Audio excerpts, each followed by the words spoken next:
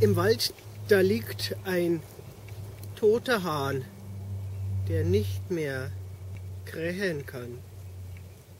Dann kommt heran der Mann, macht seine Kamera an und sieht, der Hahn, das ist ein Huhn.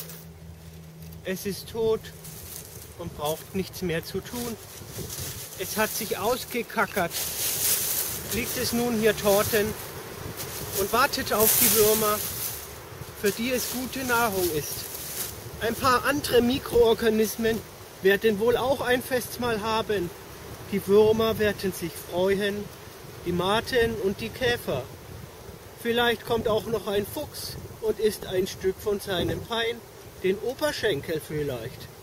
Ich weiß es nicht genau, ob ein Fuchs ein Kadavererfresser ist. Oder vielleicht gibt es hier auch gar keine Füchse. Ein Tax als Allesfresser, wer weiß es. Ein Wombat, keine Ahnung.